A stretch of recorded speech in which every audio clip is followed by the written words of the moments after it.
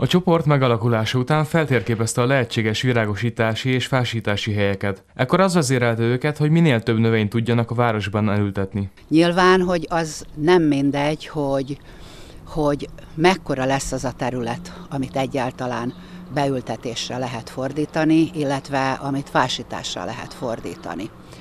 Megpróbáltuk átgondolni azt, hogy eddig hogyan történt a város különféle terein a virágosítás, és azt láttuk, hogy óriási forrásokat tud az elvonni, hogyha folyamatosan kétszer, esetlegesen háromszor ültetünk egy adott területre virágokat, ezért úgy gondoltuk, hogy érdemes lenne átgondolni azt, hogy esetleg kikeresni olyan egynyári virágokat, amelyek utána egy folyamatosabb, egy egész vegetációt átívelő ö, időszakra tudnák a virágosítást biztosítani. Na hát el kell, hogy mondjam, hogy azért ez a kísérletezés, ez valóban kísérletezés, hiszen ö, nem mindig volt sikeres. Tehát voltak olyan növények, növényfajták, amelyek ezt az extrém hőséget igazából nem tudták elviselni.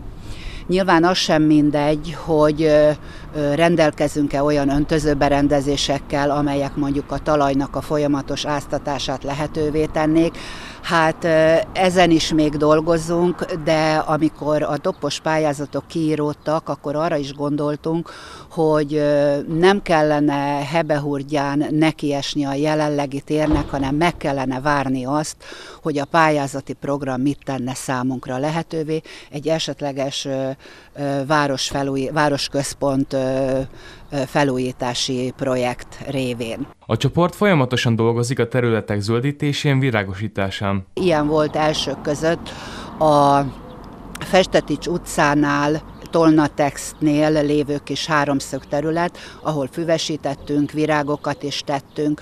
Aztán itt a téren próbálkoztunk az egynyári növényekkel, mözsön meghagytuk a kétszeri ültetést, csak egy kicsit átgondoltuk a virágokat, hogy milyen legyen színeibe, milyen érzéseket keltsen az emberbe, tehát próbáltuk egy kicsikét ezt is szabályozni, hogy hogyan lenne szebb és hogyan lenne jobb. A fásítás is fontos szegmense volt az előzetesen átgondolt terveknek. Úgy gondoltuk, hogy létre kellene hozni egy kis ligetet, ahol újszülött gyerekeknek ültetnénk fákat úgy, hogy figyel, segítségül hívjuk a szülőket is ehhez az ültetéshez. Aztán kiderült az ültetés után, hogy sokkal több fát ültettünk, mint ahány szülő jelentkezett, de nagyon örültünk neki, mert a 42 elültetett fához első körbe 22 család jelentkezett, akik velünk együtt ültették el ezeket a fákat, a babákat is elhozták, rendeztünk ott egy ilyen zsíros kenyér, lekváros kenyér partit, úgyhogy egy igazán jól sikerült közösségi rendezvény volt. Ezt követően meghirdették a Gondoskodj rólam programot, hiszen nem mindegyik fának lett gazdája. A jelentkező szülők vállalták azt, hogy a fákat a jövőben gondozni fogják. Nem mindegy az, hogy a felnövekvő generáció, a mi gyerekeink itt maradnak a városba vagy sem. Érzik-e a gyökereiket vagy sem. És az, hogy valakinek van egy fája, és a család elhatározza, hogy azt a kisfát gondozza, és a gyerekkel együtt gondozza, akkor ez valahol olyan, mintha, mintha a saját gyökereit is gondozná. Aztán folytatódott fasorok ültetésével, Mözsön a Dobó utcában, vannak fáink, Tolnán a Lockárolyba, a Bartók utcába és a Gyárvégtelepen.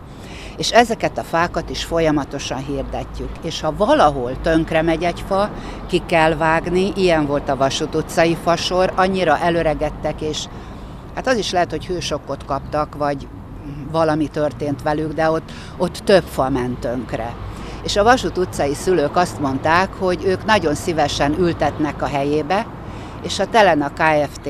segítségével eh, a fák kivágásra kerültek, és újak kerültek beültetésre, ők szállították oda eh, az új fákat, és a Vasút utcai szülők ültették el. Appelszofer Ágnes, a település polgármestere úgy látta, a Covid időszakban az emberek próbálták otthonukat minél szebbé tenni. A koronavírus lecsengésével megalakították a Virágos Tolnáért és Mözsért munkacsoportot. Én azt látom a városban, Mözsön is és Tolnán is, hogy, hogy ültetik a fákat, létrejött ez a baba projekt, hogy a születendő gyermek, vagy a megszületett gyerekeknek, babáknak ligeteket hoztak létre, és a, a korábbi virágos helyeken is igyekszünk olyan, olyan évelő virágokat is elültetni, amiket nem kell újraültetni minden évben, és igyekszünk arra odafigyelni, hogy folyamatos legyen a virágzás.